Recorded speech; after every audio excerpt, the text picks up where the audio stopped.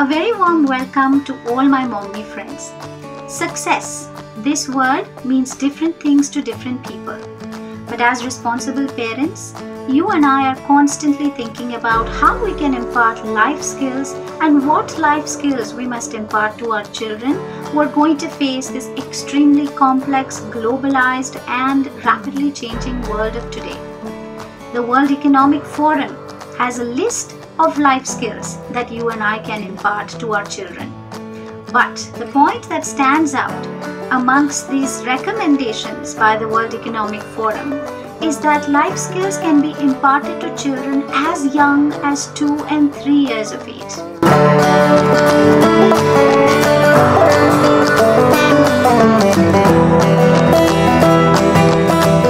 That's amazing, isn't it?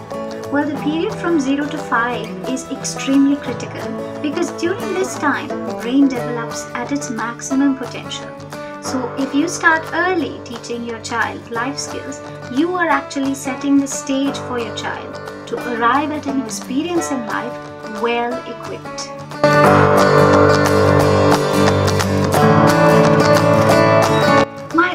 Research around life skills landed me on a brilliant piece of work by Daniel Siegel and Tina Payne. Their work around neuroscience unearthed certain gems that allowed me to do my groundwork before I could inculcate life skills in my child. Here in this video, I am sharing that groundwork with you.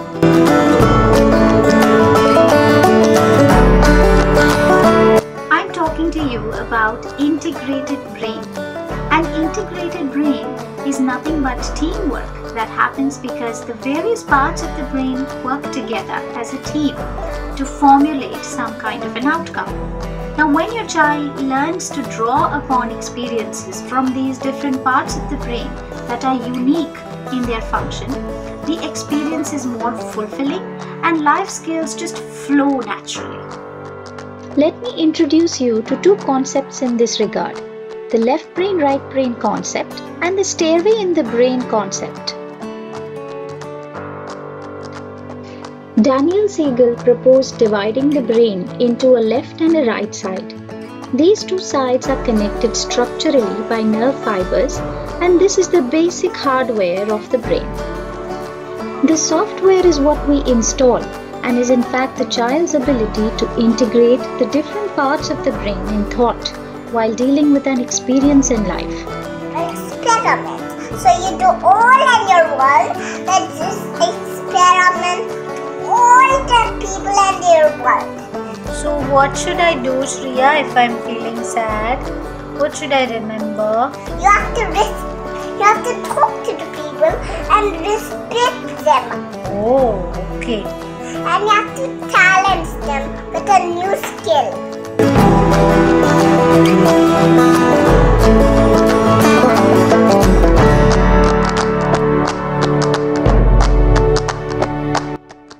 The right brain is all about experience and it fosters creativity, imagination, perception of non-verbal communication, insight, intuition, etc. The left brain is all about order. It fosters logic, analysis, language, reading and writing, sequences, abstract thinking, etc. Simply put, the left brain pays more attention to detail and the right brain focuses on the big picture.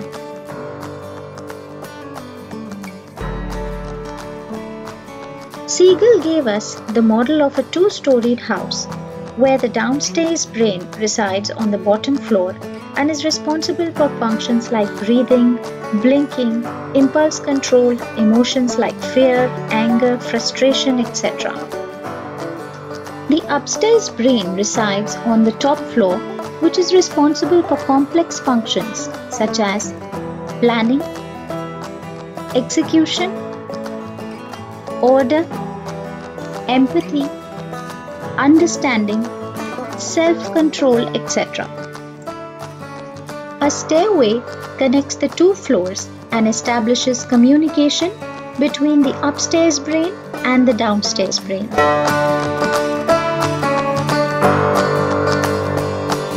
I'd like to say that a child needs a balance of both the right as well as the left brain. A little bit of emotion, creativity, imagination, and some order, logic to it can make this whole experience about life very fulfilling and beautiful. At the same time, if we come to think of it, what would happen if the child was devoid of the right brain?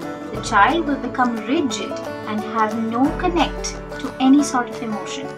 Similarly, if the child disconnected himself or herself from logic, he or she would be flooded with emotion. So you see, you do need a balance.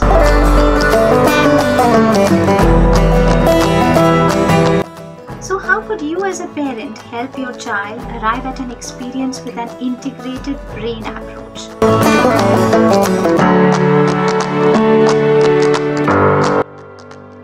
Connect and redirect. Connecting with your own right brain and sharing your calm can allow the child to be more receptive when you redirect. To redirect, use your left brain and impart logic, structure, and order to your child's experience. Avoid lecturing and keep redirection short and to the point. Connect with the upstairs brain without disturbing the downstairs brain. Provide options, devise plans together.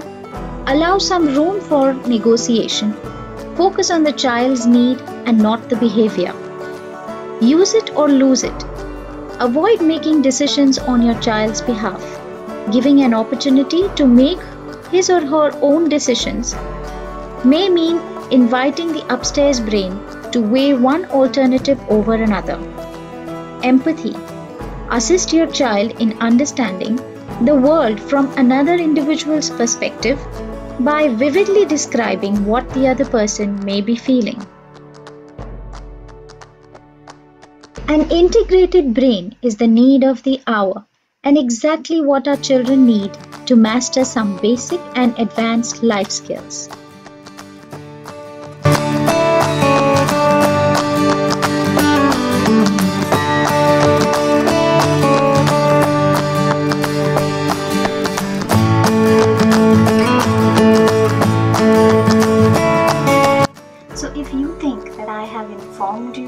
Or even better, empowered you with all this information that I have presented, and you wish to know a little more in detail, please visit the link to my blog that I have attached here with in the description box below. Thank you so much for watching.